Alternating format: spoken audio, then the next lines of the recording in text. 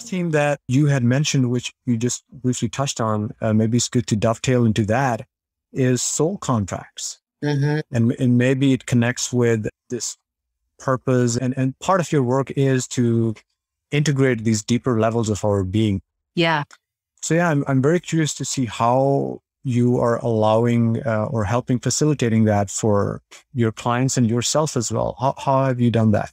It's been an interesting process. I guess first I'll talk about it from like a more personal place because like even as like a child, I, I always had a very, very curious mind and I in my mind, you know, anything was always possible. Right. And, and because of that, I, I've always gravitated towards like philosophical conversations about, about like what happens after we die and like what is there, what's out in space. And like, you, as a kid, I was like, you know, pondering these, these like deeper questions and, you know, have always just been really open in terms of like the way that I see what happens to us after we leave our physical bodies and stuff like that. Like I grew up in a Muslim household and my dad's like pretty, he's very religious. And so, and he's always been that way since we were very, very little. And so having, having a background with a very religious father who, who really wanted me to do, wanted all of us to do things in this particular order, in this particular way. Cause if you don't, you're going to go to hell. Or you know you're going to be you're going to meet the devil you're going to meet shaitan you know? That was always it's always a thing right? And so you know you live you get to you like live your life uh, and in this way he wanted us to live our lives with a little bit of like this fear kind of like you know going forward. And i knew that again that was when the, the, the constraints came over me. I'm like that doesn't feel right i don't believe that that doesn't sit well with me and then it wasn't until i moved to san diego and i started doing a lot of energy work and a lot of healing work that I really started to under, I truly started to understand like spirit, our spirits. I started to understand how, you know, we come into, we come into these physical bodies. This is earth is a big school and we come into these physical bodies and we come here to learn certain, certain lessons. And we come in with certain contracts. You're talking about soul contracts that from past life, because, you know, we lived many, many lifetimes. And so we come into these physical bodies to uh, learn certain lessons with, and then attached with these lessons sometimes are certain contracts that we have had in the past with other people, with other beings, and we come into this world and we reenact these certain scenarios to to learn our lessons and to help to sometimes, you know, really like connect in that soul contract. And then other times it's like to break it when the contract is up. And so learning this way has been like the most freeing thing for me and my soul and my body because it it allows me to really take control and pay attention to this life because this is the one that I'm in right now. And so it allows me to like look at all of the things that are around me and like the lessons, the precious lessons that I'm learning and all the beautiful people that are around me that are here to help me learn them, you know, and the vice versa and how, and how I'm here to help them on their journey and whatever the case may be. And so, like, that had, you know, once I understood that, and then you talk about like soul contracts, and then you understand that the soul is this thing that is just, it, it's this major thing that's in this physical body right now, but it still has like these huge, huge ties to so much beyond this physical. And and also tied to our ancestors, which is the other topic we were talking about, and and our ancestors, like the contracts that we have with them. And so, for example, like uh, like bringing for so like the soul contracts in spirit are one are one piece, but if we now talk about soul contracts in like this physical life, so like quick story, like when I was before I was even a person and I was in my mom's belly you're like barely yes. formed into much of anything. You just have like a little tiny little, you're like a little electric spark in there. My yeah. parents were like having like a hell of a time together. And my mother was not really like, she was really not doing well in terms of like her emotional like mind and body. She wasn't, she wasn't doing well. And yet I was this little zygote in her belly. And so, you know, because of that, I, it's like imprinted on me at an early age that I was my, co- one of my soul contracts was that like I was going to take away my mother's suffering, you know, and we do this as we, it's not even, it's so deep, You know, it's beyond the conscious mind. The conscious mind is like this tiny little layer. Then you have your sub- subconscious mind underneath that. And then you have the whole unconscious mind, you know, underneath that. So it's like, it's so deep when you don't even, at that stage, it's like, you just connect to the feeling and that feeling of my mother suffering. And then, and then so when I became me in this body, one of my contracts was to make sure that my mother didn't suffer. So my whole life, I had that in the background guiding me, you know, like making sure that like I was making sure that my mother was okay. My mother was okay emotionally, even though she's, she's a phenomenal woman and she's done so much work on herself to release a lot of the traumas that she experienced in her life. So she's doing great.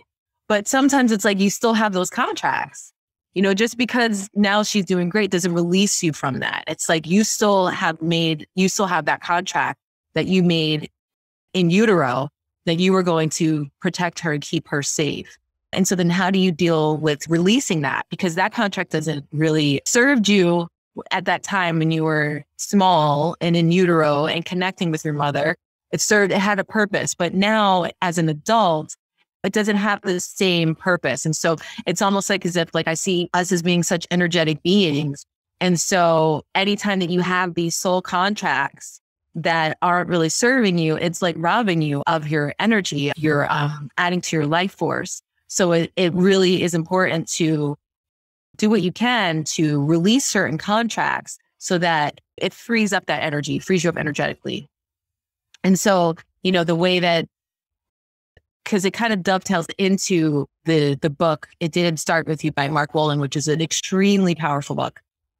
And, yes. And talking about like the ancestral ties that we have and like how to go about number one, finding them and then and then and then finding the ties, finding the soul contracts that are connected to them, and then how to release them. And in the releasing process, you know, it's it's really about like seeing seeing that person that you have that contract with, seeing them as being like whole and completely in their own power. Like in my case, it's like me seeing my mother as being like a fully capable, fully functioning uh, woman filled with so much love and so much to give that she doesn't need me to hold that space in that way any longer.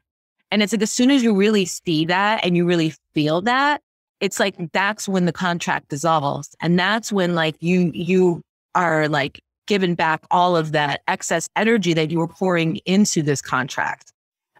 And it's very very empowering and very very freeing. Is that oh absolutely. This okay. is this is really really beautiful. I was just letting you kind of just pour out because I know that you've been working at it with with so many angles, with the angles of ancestors and dream work and some of the stuff we're going to talk about. But yeah, it's it's such a rich topic, and a few things came came to mind, and you know, also from from kind of my own journey. This is as I was we were talking uh, before we started that for me, some of these things have come as a surprise and I've had to integrate them because in the beginning, I was like, I'm going straight to to spirit or being very philosophical, scientific. I want to know what the source of creation is. I want to know what the basis of reality is. Yeah. And I, I'm not, I, I'm, I was not so much interested in ancestors and other, other beings and other realms and stuff because I didn't want to be distracted. But a lot of this came in that you're not going to reject different aspects of reality, but integrate them. Yes.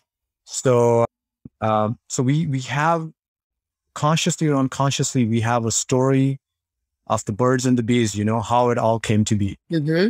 You know, and what is my place in, if I have this skin color or if I'm in this country, what does it actually mean? And it's, it's like a bigger family you're part of. Mm-hmm.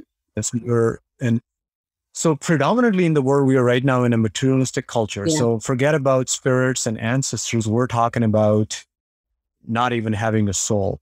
Yeah. You know, that's the, paradigm that we're in no. for the most part. And this book that you had shared with me, mm-hmm. that it didn't start with you. And I did end up watching a talk. I forget the name of the gentleman. If, if you, if Mark you. Mark Wolynn there. Yeah. So, uh, we'll, we'll put this in the show notes, but yeah. I, I didn't read the book, but I heard a, kind of a talk of his on, on science and non-duality, like about half an hour. And he connected with a lot of this research of, which is kind of in the time of Darwin, you know, Darwin was considered a hero where it's all about natural selection and survival of the fittest. And ancestors don't really play a role. What your parents do doesn't really count, but what counts is what thousands of people have done before. Yeah. Only that matters, but immediate parents don't matter. So uh, I think there was a gentleman by the name of Lamarck who had proposed this idea that he thought that your immediate ancestors, uh, you know, he gave this example of if there are like these uh, long necked giraffes in the forest mm-hmm. and suddenly all the trees vanished, then in the very next couple of generations, you will see the necks shortening in size in the offspring. Yeah. But everybody dismissed that. And now we have a lot of research, you know, connecting it back to Mark's book of this epigenetics, where if your ancestors were in famine, then your chances of becoming obese are higher. Mm-hmm. Uh, this is actually a published study, very recent, where I saw mm-hmm. where it was from World War II people, you know, yeah. where, where they were a lot of famines and their children's, guess who? The Dutch people are these giants, they had these immense growth, uh, growth sprouts yeah. because they were overcompensating for what their immediate ancestors had done. Yeah.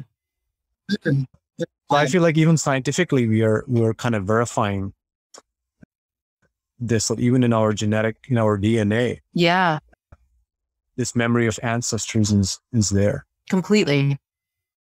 Well, I was just going to say in that book, I think you know, every, I think every, literally everybody should read this book because everybody has trauma and everyone's family has trauma. And it's really about the traumas that we don't talk about. Those are the ones that really imprint on our messenger RNA. And those are the ones that we pick up through our ancestral line. And he talks a lot in the beginning of the book all about these experiments that were done on mice mm-hmm. and and showing how many generations like one trauma affected like X amount of generations of these mice so sad, you know, when you when you when they do the experiment to me, it's like, oh, my heart hurts, you know. But I mean, the fact that they were able to actually show that is very, very, very, very valuable to us because, you know, living in a material, uh, materialized society, we we look for proof, and that provides that proof, you know, that it it's very real. Uh, and if you talk to if you can, if you read the book and you follow what he says and you find like what rings true to you, like the the statements that ring true to you that you know are tied to someone other than yourself, and you go and you do that work, you're going to be amazed at the results. You'll be amazed. I couldn't believe the story that I was told when I when I went through and I connected with my grandmother that I never met. She died before I was born, and my great grandmother, obviously that I never knew and I found out the stories. It was incredible. And to be able to now see them in a different way, in a different light, and to rewrite those stories has created so much freedom for me. And I'm so grateful for it. He, the book is phenomenal. It is phenomenal. Yeah, I, I, I really want to look into that. And actually, one of the questions that came to me while I was uh, listening to his talk, which was kind of kind of short, and I think he he talked about going on a spiritual journey and being told, you know, he was expecting that that will give him deliver him the goods, yeah, the peace that he was seeking. Um, and the teacher, one of the teacher that he he says he was in a, this giant line, and when he met him, the first thing the teacher said was, "Go and make peace with your parents." Yeah. And so uh, he said he didn't listen at that time. It took him to hear it from someone else. Yeah. Yeah, but I, I, I was wondering, you know, of course, I want to look at the book, and you know, it didn't start with you. Even the title is quite quite inviting, and there are a few